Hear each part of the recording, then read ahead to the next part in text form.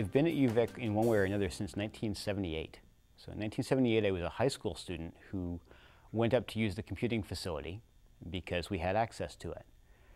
And there have been a lot of changes at UVic since 1978. In a lot of ways, it's, it's like a second home. I've been there, so 78, 88, 98, sorry, I have to do this on my fingers. Yeah. 2008, so 33 years. And uh, among those 33 years, I've only been away for five. And during those five years, I, I, kept in touch. So it's always like coming home. It's, it's a place where I feel that I belong now. Um, it's, it's, a, it's a part of my life, and I can't imagine my life without it.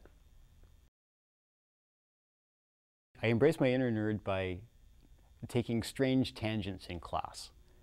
So if we do something that I think is really cool because a mathematician would think it's cool, then I, I tell the class that. I, tell the class how a mathematician would approach it and why I think it's fun and what it makes me think of and how it relates to other things that are outside of the scope of the course.